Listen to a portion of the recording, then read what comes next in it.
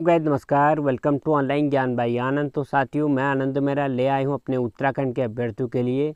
UK triple S C चाइना की latest update साथियों 26 सितंबर को हमारे जो सचिवालय सुरक्षा गार्ड का एग्ज़ाम होना है, उसमें कुल 33 पद हैं साथियों। तो यूके ट्रिपल एस सी चयन आयोग ने इन 33 पदों में परिवर्तन कर दिया है। आज आपको पूरी अपडेट मिलने वाली है। तो 26 सितंबर को हमारा एग्ज़ाम होने वाला है सचिवालय सुरक्षा गार्ड का।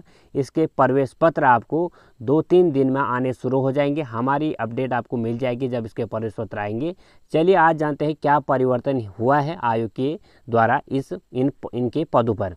साथ ही तैतीस पद जो हैं बरकरार हैं, हालाँकि छत्तीस आरक्षण में परिवर्तन किया गया है। यानी जो सामान्य वर्ग की सीटें हैं, उसमें कटौती की गई है। आर्थिक वर्ग, यानी ई की सीटें में कटौती हुई है। और जो अन्य पिछड़ा वर्ग, अनुसूचित जनजाति और अनुसूचित जाति एस सी एस में पदों की संख्या में बढ़ोतरी हुई है। चलिए जानते हैं, जब विज्ञापन आया था, सामान्य की सीटें थी बाईस, अब चार सीटें यहाँ पर घटाकर अट्ठारह सीटें जनरल के लिए रह गई हैं।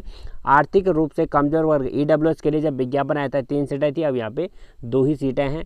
और अन्य पिछड़ा वर्ग के लिए जब विज्ञापन आया था, तीन सीटें थी, यहाँ बढ़ाकर तीन सीटें कर दी गई है ओबीसी के लिए। और अनुसूचित जनजाति एसटी के लिए जब विज्ञापन आया था, दो सीटें थी, अभी भी दो सीटें बरकरार हैं।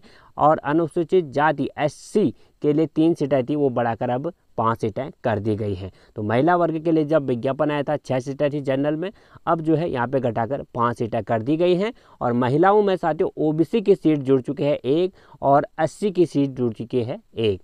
तो इस तरह से छत्तीस आरक्षण में यूके ट्रिपल एस चयन आयोग ने इसका परिवर्तन किया है। हालाँकि जो सीटें हैं तैतीस, वो सचिवालय सुरक्षा गार्ड के बरकरार हैं। जनरल वालों की सीटें कम हुई हैं ई वालों की सीटें कम हुई हैं और O B C S T और यहाँ पे महिला वर्ग की सीटें भी तो कम हुई हैं और S C S T O B C वालों की सीटें में बढ़ी हुई हैं। तो मिलता हूँ मैं आनंद मेरा उत्तराखंड की न्यू भर्ती अपडेट के साथ साथ इसका प्रवेश पत्र जब जारी होगा हमारी ओर से आपको इन्फॉर्म कर दिया जाएगा। धन्यवाद, आप लोग हमसे लगातार संपर्क में हो और जुड़े रहते हो लास्ट तक। धन्यवाद गॉड ब्लेस यू